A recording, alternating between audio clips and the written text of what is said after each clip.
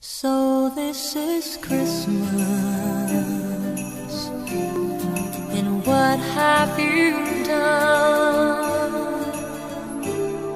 Another year over, a new one just begun,